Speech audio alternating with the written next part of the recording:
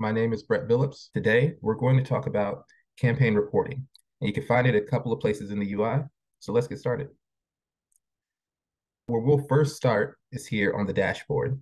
The dashboard, you actually have some app analytics that is tied to your either web SDK or, or your mobile app SDK, whether that's iOS or Android. We're not going to focus on this now, but this is the home dashboard of your Braze UI. Where we're going to first go, before we even get into the analytics portion of this, is to the messaging and campaigns.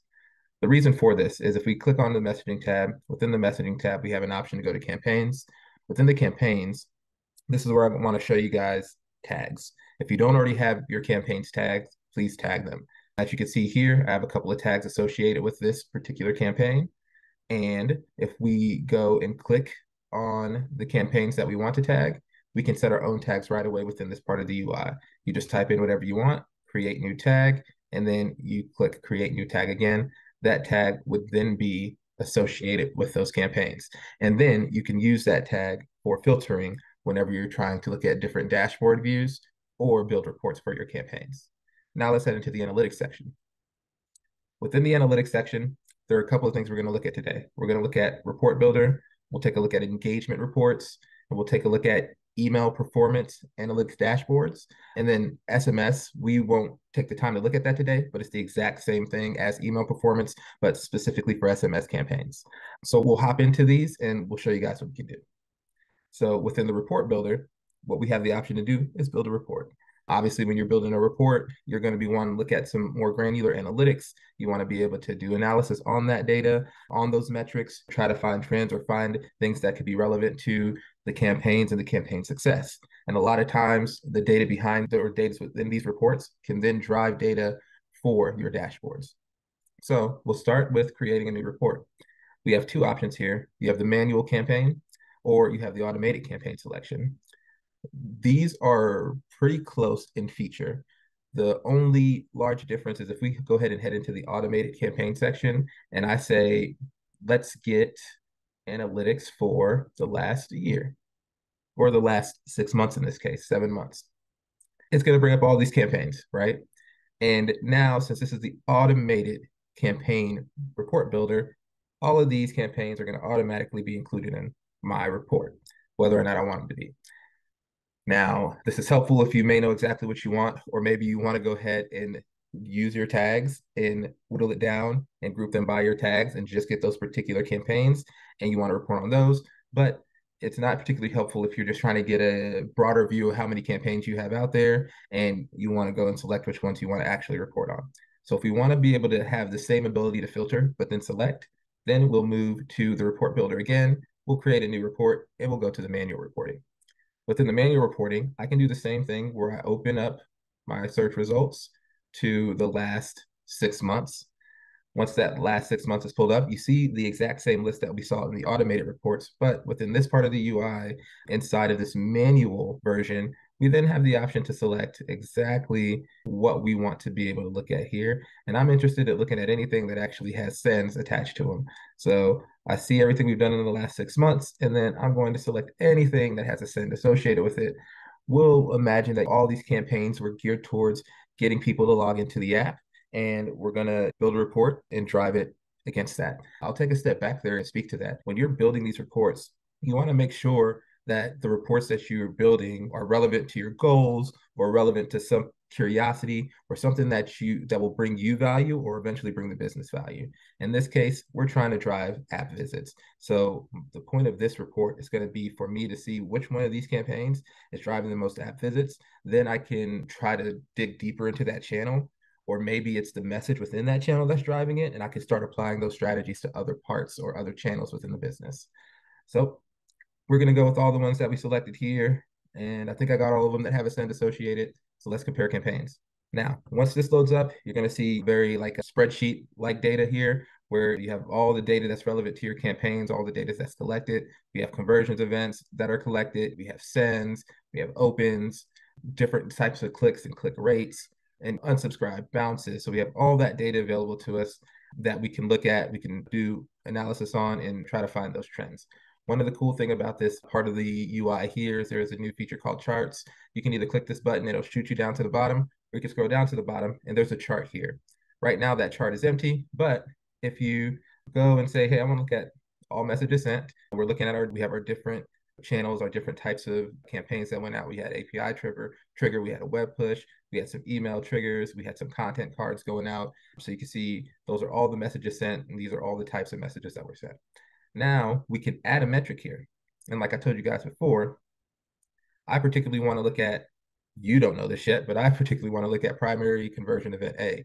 So primary conversion event A is started session within three days. So that means we sent the message, and then within three days, they hopped into any of our apps that we have associated with our app group. Looking at this data at a quick glance, I can see that my content card campaigns are the most effective. Now I can go start looking into what's the copy in there? What am I doing in there? What messages? What are the CTAs in, inside of that? Or even should I push more messaging through that channel because my particular user base is responding to it well? And this is a nice quick view where I could start making some of those assumptions and then start digging deeper into those assumptions and hopefully finding something useful to the business. As you build these charts or build these views and reports, you can export these reports and it'll export this data out to you, or you can save it. And if you hit save on it, it'll have the name of the campaign here, I did a really bad job. So let's let's hop back in there because I forgot to name the campaign.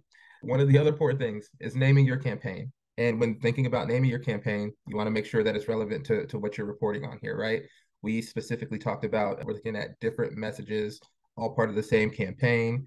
And in this particular case, we're looking at app views, right? Or, or app visits. So I would want to call this report something like Raise the Bar. And this is going to be our campaign message conversion. All right, that's relevant to me because I know that we're looking at the messages and we're looking at those conversions on those messages, right? And I could get even more specific. I could probably even dial down the naming and said app visits, right? And that's going to be an even better naming convention. So even if you don't, even if you start naming it, you're like, oh, I could do better. You could hit the edit button, and now I can go back and say message app conversion, app visits. Spelling is key. Conversions, right? It's a little mouthy, but it explains exactly what I'm looking for. Right. And like I showed you, if we mess up, we can always go back, hit the edit button, fix the naming convention. We'll go ahead and save. Um, now that's been saved again here, we can edit this report if we want to. If we wanted to go back and change elements, add different campaigns into it, add different channels into it, or take some out, right? We have the ability to do that by clicking that edit button. Right now, we won't do that. We'll, we'll go ahead and cancel back out, and then we'll go back to the reports. And now that we've saved our report, we can see we have our campaign message app visit conversions. Very clear on what we're trying to do here. And if we click into that, we'll see the same view that we just saw. We can go back and see our chart, view our chart.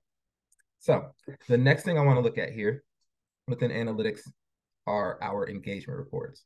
We just looked at the report builder and we built some, a report for a campaign. Within that report, we went ahead and saved it. We also had the option to export that data to ourselves. Another way you can export data to yourself and get a more custom view. If you notice within that view, all the attributes were set. We didn't have the ability to choose the the attributes we wanted to look at for our report or report on. It just gave us all the attributes associated with the campaigns. So if we go to engagement reports, this doesn't give us a visual of the report, but we can create ourselves a report and that report will be emailed to us. So within this creation tool right here, once again, you have the manual or the automatic creation option. Down here, we have a couple of our cam campaigns. You can do a combination of campaigns and canvases, or just campaigns, or just canvases. Within that, we'll go ahead and we'll add both of our campaigns here that we have tagged as our B2B demo, and we'll hit add stats. So adding stats is where you can now go and customize those attributes that you want to look at. Like before, we were seeing the conversion events, we were seeing the bounces, we were seeing the clicks, we were seeing everything. But if all we wanted to do was look at sends, and then this is a in this case, it's a different report we're looking at. We just want to understand the sends and the bounces associated with those sends and what percentage of sends are those bounces, right? We can then customize our report. We can set it up. We can give the name to this report. Once again, make sure the name's relevant so it's easy for you to search for. When it hits your inbox, it's easy for you to know, like, oh, this is the report that I was trying to develop, and this is what this report is about. So this is going to be B2B campaign, email, bounce, bounces. And just really straightforward, clean naming convention. We know exactly what it is. We can then do a couple of things. Do you want it uncompressed? Do you want gzip? Do you want regular zip? I'll, I would recommend zipping it so you don't have a thick file if you have a lot of data coming through. You can do your delimiters, whether you know you have your reporting BI tool or maybe even just like your spreadsheet set up to do type delimits versus comma delimits. You have the option to select from that here.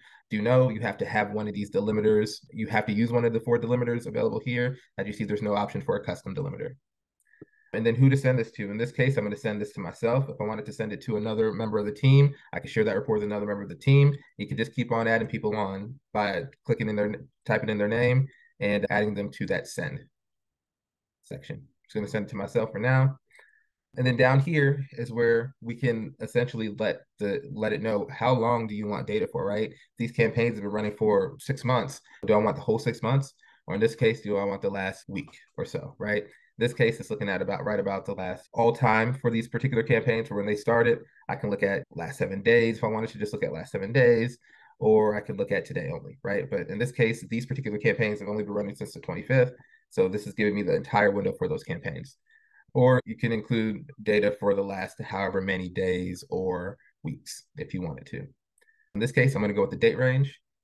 Other option here is how do you want the data to be displayed? Do you want it to show data by days, do you want to show data by weeks, or do you want to show the data aggregated by like the campaigns or canvases? And I'm going to do in this case showing it aggregated by the campaigns. And then you have some options to automatically exclude archived canvases or campaigns. So if you accidentally clicked or you leveraged a tag maybe, and within that tag, there are some archived campaigns that may not be active, so may not be super relevant to the reporting you want to do anything that has that archive that that system archive tag on it, the system can automatically wipe that from the results for, from you. So you can still just select your tag easily, wipe out anything that, that doesn't belong in there because it's archived. And then down here at the bottom, we have the option to send this to ourselves immediately or send at a designated time. And when you do the designated time setting, you actually have the option to have this sent to you on a recurring basis. So I can have it sent once a month or once a week and so on and so forth. And you can have that never ending, or you can have it end at a particular time or after a particular number of sends, as you see the options below. We're going to go it never ends once a week on Wednesdays, fine. We'll confirm that. Now, once again, I'm trying to show you guys the different naming convention errors that can happen or how you can go back and edit them if you need to. Now, in this particular part of the UI, it does not like if you're using spaces, commas, underscores. So you want to keep your naming pretty clean.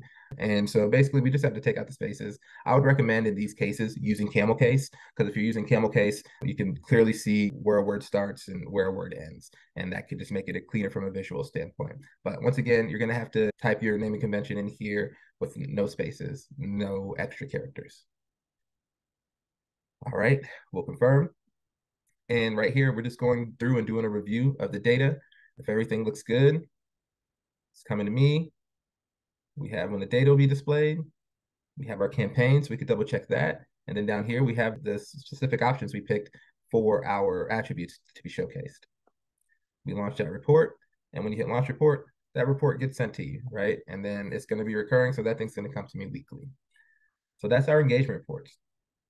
The last thing I wanted to cover with you all is email performance and SMS performance as well. Once again, these are the exact same it's just this system automatically is going to aggregate your email performance data here. It'll aggregate the SMS performance data in the other option. But here, this gives us a quick dashboard view of our email channel engagement and how our emails have been performing. As you can see here, 11 sends, we have 100% delivery rate.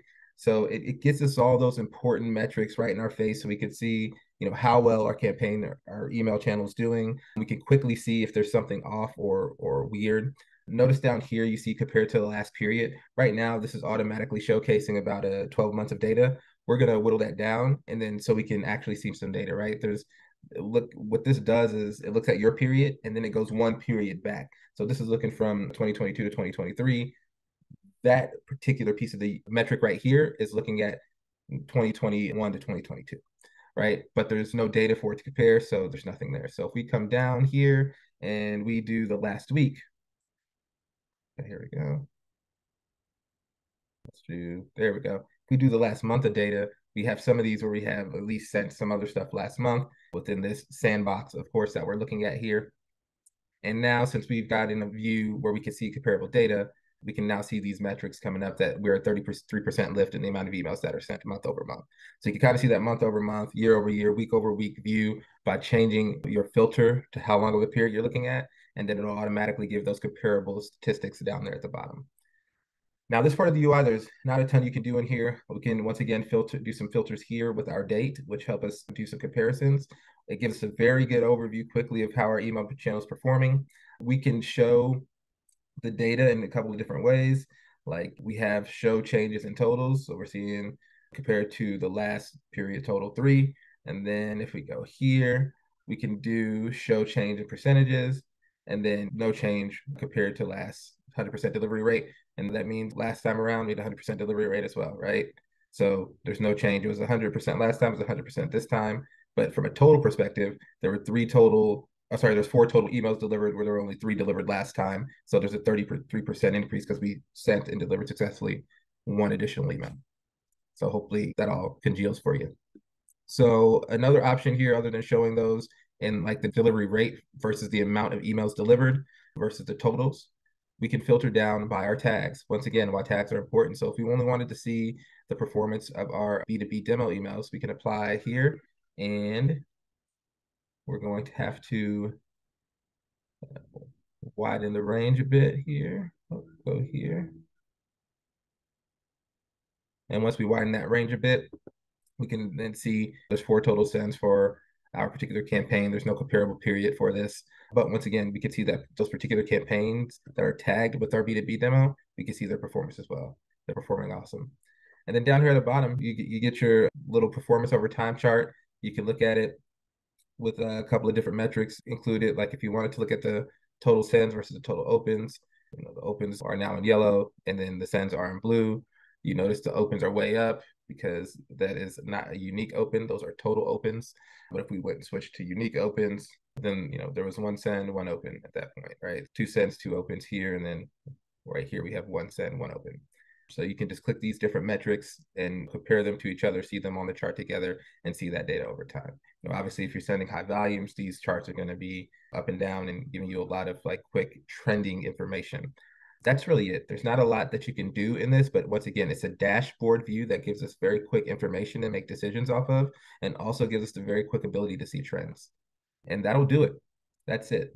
So we looked at some campaigns and the reporting that we can do against those campaigns and even dashboards we can view against those campaigns. And hopefully you gained a little bit out of this. And my name is Brett Billups. I'm a solutions lead here at Stitch. And if you ever need a spot, we're here to help you raise the bar.